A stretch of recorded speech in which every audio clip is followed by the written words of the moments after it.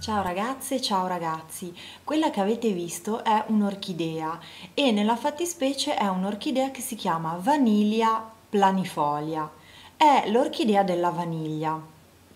Oggi infatti vi volevo parlare di questa pianta, so che questa pianta piace veramente a tutti e quindi vi volevo dire le cose che so io, eh, che sono limitate, e poi gli usi che, che io ne faccio eh, a casa mia, perché da questa pianta si possono avere veramente tantissimi tantissimi usi e effetti meravigliosi.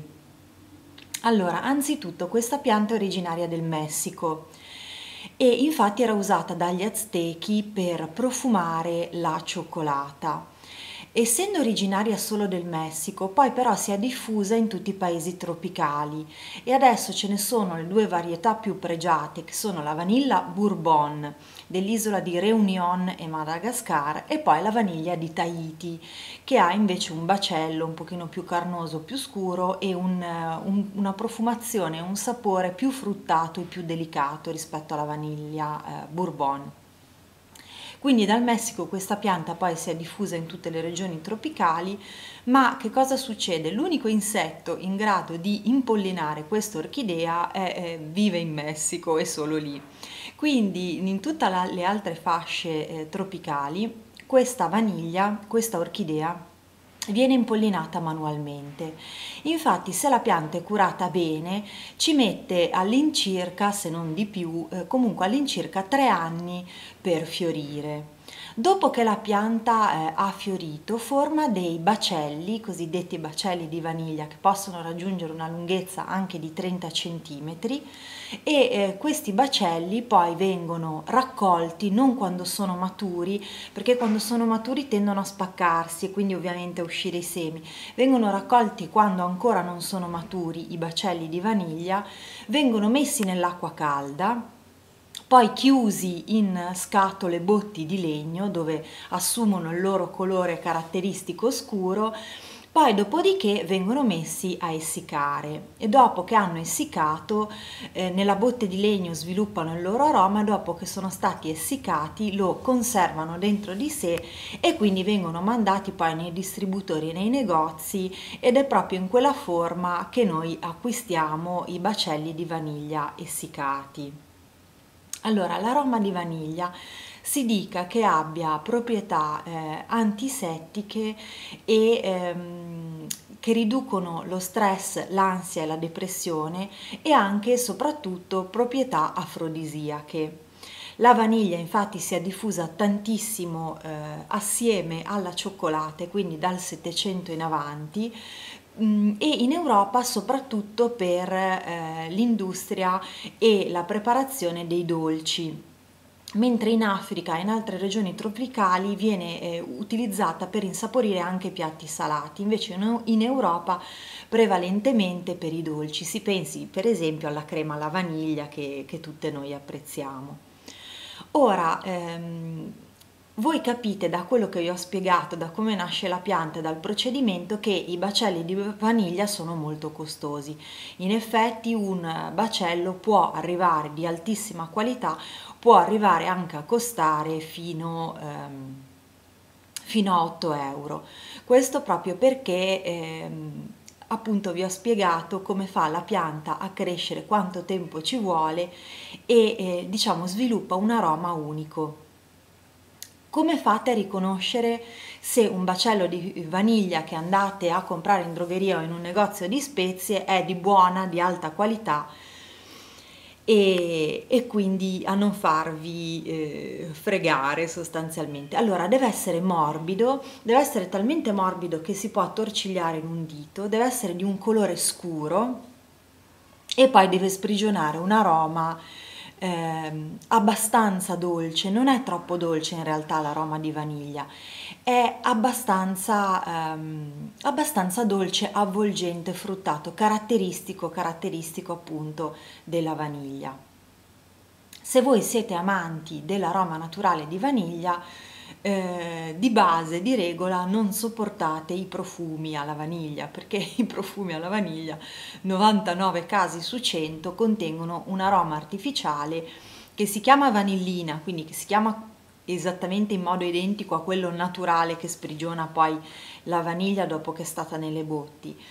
E si avvicina molto all'odore naturale ma non ne ha tutte le sfumature, soprattutto la seconda e terza nota, soprattutto dopo un po' non ha le stesse sfumature e anche quello sintetico artificiale viene messo un po' dappertutto in bevande, mi sembra anche nella Coca-Cola negli omogeneizzati, eccetera, eccetera. Quindi noi siamo abituati a eh, avere anche l'aroma sintetico, per cui se voi non avete eh, bacelli di vaniglia in casa da anni e anni, sarà per voi difficile riconoscere l'aroma sintetico da quello naturale. Se invece siete persone che frequentano eh, le drogherie, che amano le spezie e che hanno sempre in casa dei bacelli di vaniglia, vi sarà naturalmente più facile riconoscere l'aroma naturale che naturalmente cambia e varia a seconda della pianta, della vita che ha avuto la pianta, a seconda se è vaniglia bourbon o vaniglia di Tahiti, eccetera, eccetera. Allora, io adesso andrei a farvi vedere l'uso che faccio io eh, dei bacelli di, di vaniglia. Allora, ho preso le due zuccheriere che ho in casa mia, questa è la prima. in questa zuccheriera c'è dello zucchero bianco e voi vedete che dentro io ho inserito mezzo bacello di vaniglia. Infatti quando si apre questa viene da ridere perché è veramente paradisiaco. Questo bacello è qua da circa un anno e mezzo, durano tantissimo. Io non ho praticato incisioni. C'è chi, vedete, qui c'è il ricciolo classico, vi faccio vedere il bacello di vaniglia. Allora, qui c'è il ricciolo classico, eh, naturalmente questa è solo metà, l'altra metà è rimasta all'interno della zuccheriera c'è chi pratica dei, ehm, appena comprato il bacello, dei taglietti e poi estrae i semini perché i semini sono adatti per alcune preparazioni di certi dolci. E ehm, io invece preferisco mettere direttamente il bacello dentro lo zucchero senza praticare dei taglietti perché così il rilascio dell'aroma è più lento però mi dura anche un po' di più perché poi quando si secca non lo potete quasi più piegare diciamo sarebbe l'ora di sostituirlo.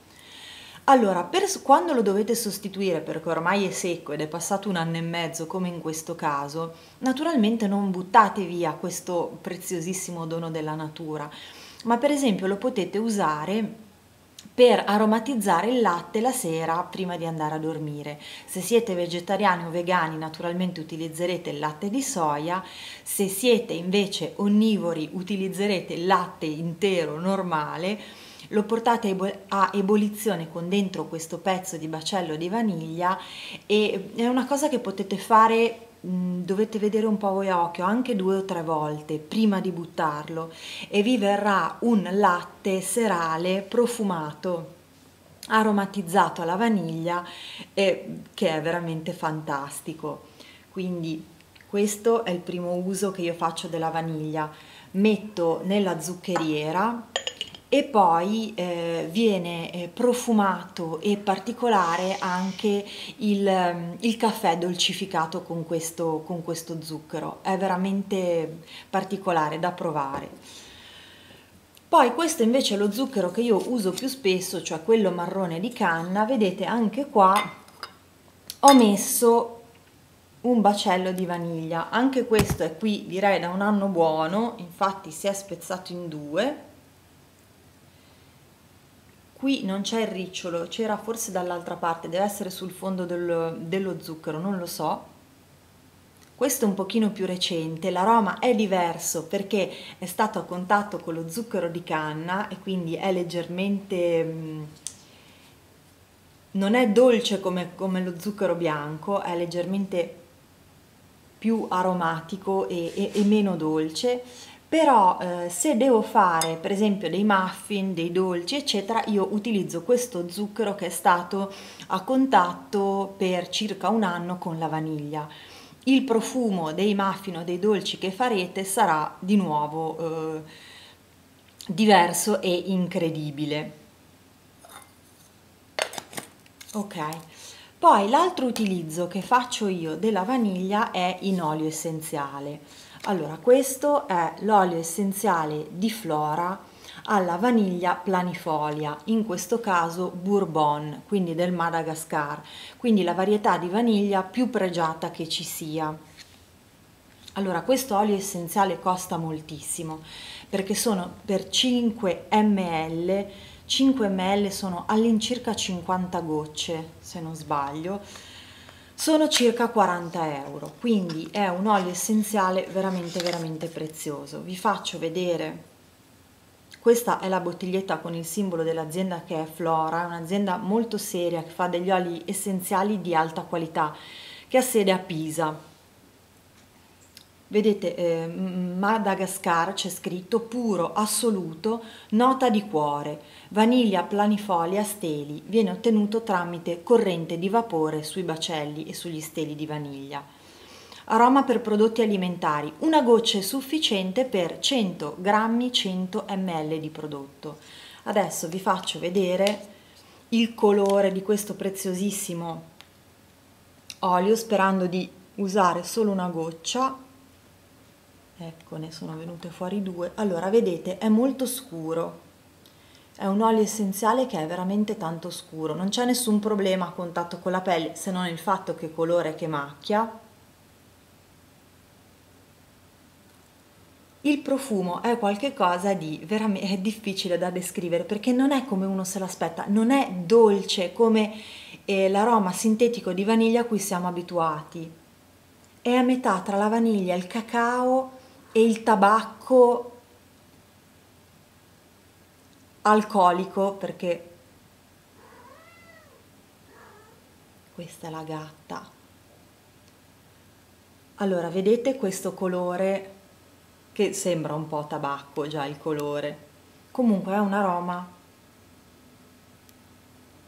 La dolcezza si sente dopo, dopo qualche secondo iniziate a sentire la, la dolcezza di questo profumo, ma è una dolcezza particolare che niente niente a che vedere con l'aroma sintetico.